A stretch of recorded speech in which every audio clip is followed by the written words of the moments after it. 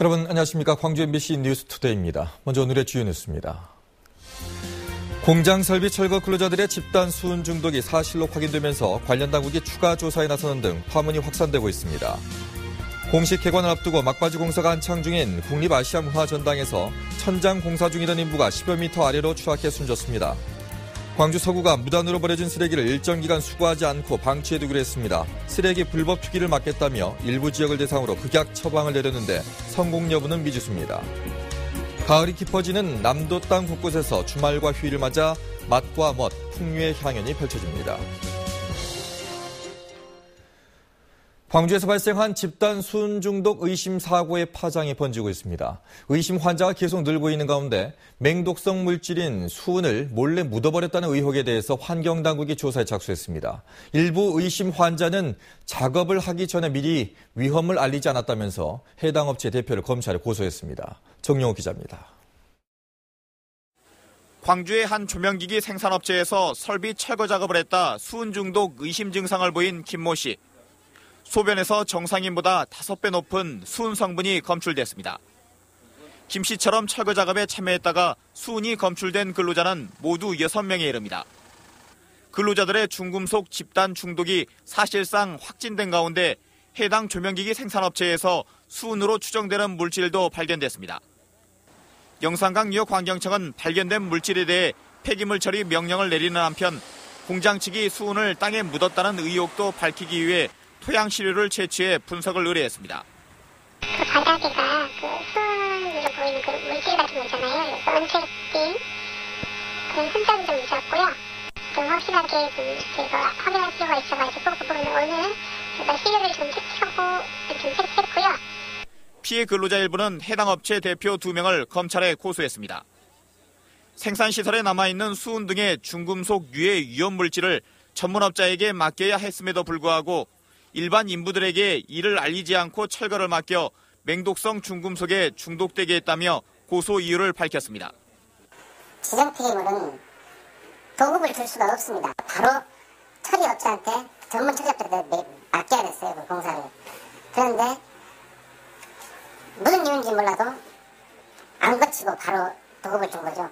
한편 고용노동부는 해당 업체에서 과거에 일했던 근로자 중에서도 순중독 의심 증상이 나타났다며 임시 건강진단 명령을 47명으로 확대해 순중독 파장이 계속 이어질 전망입니다. MBC 뉴스 정용욱입니다. 개관을 한 달여 앞둔 국립아시아문화전당에서 공사를 하던 인부가 떨어져 숨졌습니다. 공사 현장에서 안전수칙이 제대로 지켜졌는지 경찰이 수사에 나섰습니다. 조현성 기자입니다. 한 달이 채 남지 않은 공식 개관을 앞두고 막바지 공사에 박차를 가하고 있는 국립아시아문화전당.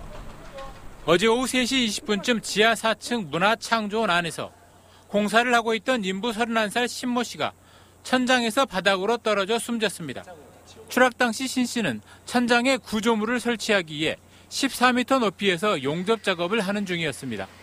안전바라는 것을 계속 차고 있어야 되는데 우리가 작업이 끝날 때는 안전바를 풀었던 모양이에요. 그걸 풀었다더라고요 마지막에. 문화전당은 지난 9월부터 부분 개관을 한 뒤 일부 콘텐츠를 공개하고 관람객들을 맞이하고 있지만 사고가 난 전시관에는 콘텐츠가 아직 설치되지 않아 내부 리모델링 공사가 진행 중이었습니다. 공식 개관이 오는 11월 25일로 예정돼 있었던 만큼 빠듯한 공기를 맞추기 위해 일부 현장에서는 야간 작업도 이루어지고 있었던 것으로 알려졌습니다. 경찰은 현장 안전관리자를 업무상 과실 혐의로 입건할 방침입니다. MBC 뉴스 조윤성입니다. 광주서구청이 다음 달부터 원룸 거리를 중심으로 불법 쓰레기를 일정 기간 수거하지 않고 방치해두기로 했습니다.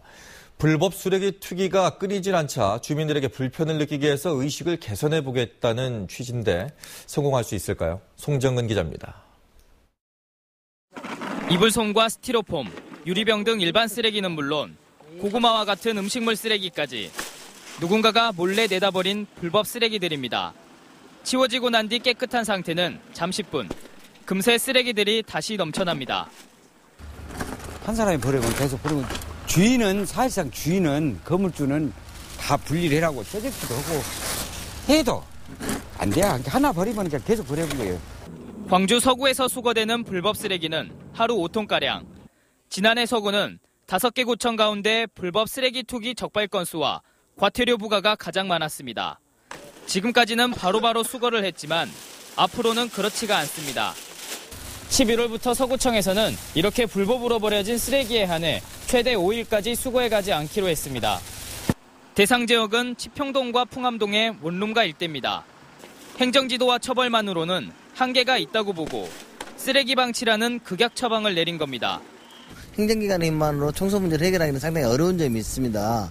그래서 어떻게 보면 골목길 이면도는 우리 주민들이 청소 문제에 대한 관심을 가져주시고 저희 행정기관과 같이 협력해 주셔야만 주민들의 반응은 찬반으로 엇갈립니다. 방치해 둔 것도 좀 괜찮을 것 같아요. 그래야 주민들이 아 이렇게 버리면 안 되겠구나.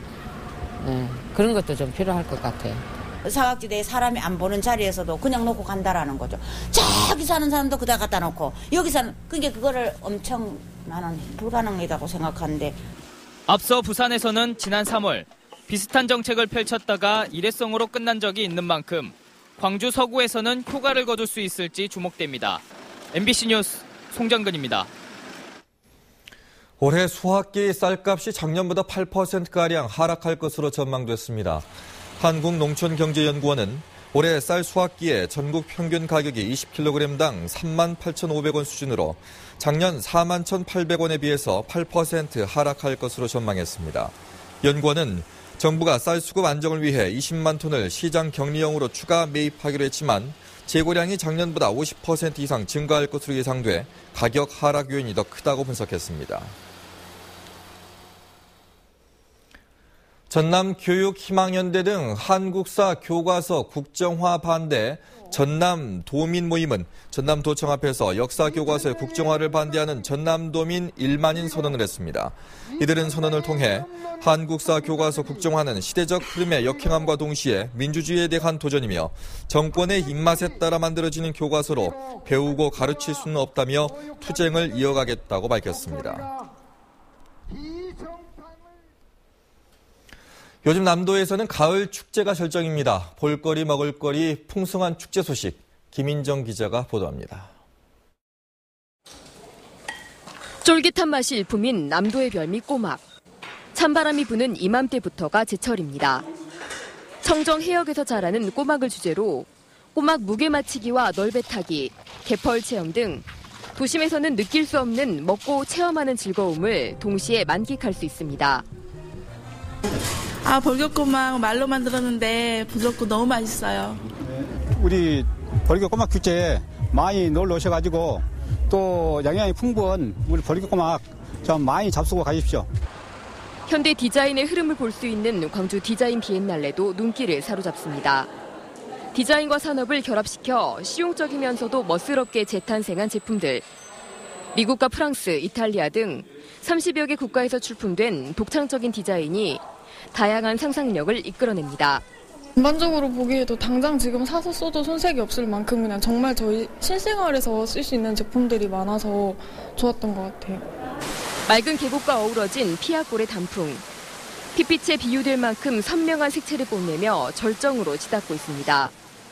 이곳에서는 내일부터 이틀 동안 단풍 축제가 열려 탐방객들의 발길을 사로잡게 됩니다. 이 밖에도 독특한 남도의 풍미를 접할 수 있는 화순 적병 문화제와 마한 문화축제, 한편 국향대전 등 남도 땅 곳곳에서 다채로운 축제가 관람객들을 유혹하고 있습니다. MBC 뉴스 김인정입니다. 소설가이자 시인인 한승원 작가의 25번째 장편 소설 물에 잠긴 아버지의 출판 기념회가 열렸습니다.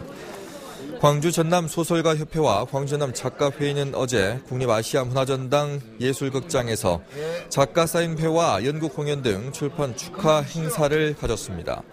이번에 출간된 물에 잠긴 아버지는 작가가 25년 전 썼던 단편 희곡 아버지를 장편 소설로 고쳐 쓴 작품입니다. 날씨가 쌀쌀해졌지만 독감 예방 주사를 맞고 싶어도 아직 못 맞는 어르신들이 많습니다. 올해부터 백신 공급 체계가 바뀌면서 혼선이 빚어진 건데요. 개선이 필요해 보입니다. 보도에 김양훈 기자입니다. 목포의 한 병원입니다. 독감 백신이 며칠 만에 떨어지면서 어르신들의 항의가 이어졌습니다. 백신이 다 바닥이 나서요. 어, 와서 맞고자 하는 분들이 못 받고 뭐 항의하는 사태가 간혹 있었습니다. 인근의 다른 내과 병원입니다. 이 병원이 공급받은 백신은 2,200여 개. 무료 접종 위탁 기관으로 지정된 전남 550여 개 병원 가운데 가장 많고 종합병원이 받은 백신의 5배에 달합니다. 일률적으로 신청만 하면 백신을 공급해주는 질병관리본부의 탁상행정 때문입니다. 진료과별 구분은 물론 병의원별 백신 배분 기준도 없습니다. 내과 중심 병원 중에서 좀 신청량이 많았습니다. 그래서 그쪽으로 그 배정이 많았습니다. 초기 백신 물량을 잘못 산정해 배분에 실패하면서 백신 품귀 현상이 빚어졌습니다. 불편한 몸을 이끌고 보건소나 병원을 찾은 어르신들에게 자세한 안내도 없습니다. 그 어디 병원에 있단 말도 안 해요. 예, 그냥 없다. 자, 종료만 됐다고 하네. 그러니까. 지금까지 무료 독감 접종을 받은 65세 이상 전남 지역 어르신은 30만 2천여 명. 아직도 9만여 명이 독감 예방 접종을 하지 못했습니다. 전라남도는 백신 수급 불균형 문제 해결을 위해 소아과나 산부인과에 남아있는 백신을 수요가 있는 다른 병원에 재배정하기로 했습니다. MBC 뉴스 김양훈입니다. 전남도가 내년 봄 안정적인 농업용수 공급을 위해 가뭄 대비 종합 대책을 수립했습니다. 전남도는 올해 장마철 적은 양의 비로 이달까지 강수량이 예년의 77%에 불과하다며 연말 준공 예정인 농업용수 개발 사업과 가뭄대책 사업 준공 시기를 최대한 앞당겨 담수를 실시하고 해빙기 이후 농경지 주변 하천과 배수로 등의 물가두기를 실시해 사전에 농업용수를 저장할 계획입니다. 또 저수율이 낮은 저수지는 하천과 관정에서 양수해 저수지를 미리 채우는 등 가뭄에 미리 대비해 내년 봄 농업용수 공급에 차질이 없도록 유도할 방침입니다. 전남도가 내년부터 3년간 교통사고 사망자 100명 줄이기 정책을 추진합니다. 전남도는 이를 위해 교통안전의식 개선을 위한 범도민 총력 추진 계획을 수립하고 경찰 등과 합동으로 불법 주정차, 음주운전, 신호위반 등 각종 교통법규 위반 행위에 대한 단속을 강화하기로 했습니다. 전남도는 또 초, 중, 고등학교 교통안전교실, 농어촌 고령자 교통교육 등 맞춤형 현장 교육을 확대할 방침입니다. 한편 지난 2013년 기준 인구 대비 교통사고 건수는 전남도가 전국에서 가장 많았고 교통사고 치사율도 세종시에 이어서 두 번째로 높았습니다. 광주시가 국회를 방문해서 내년도 국비 확보를 위해서 총력전에 나서기로 했습니다. 윤장현 광주시장은 내년 예산안에 대한 국회 예결위 심사를 앞두고 광주 전남북 예결위원들을 찾아가 현안 사업의 당위성과 시급성을 설명하며 지원을 요청했습니다. 특히 내년 정부 예산안에 반영되지 않은 자동차 100만 대 생산기지 조성과 세계 수영선수권대회 지원 등 9건의 신규 사업의 예산 반영을 집중 요청했습니다.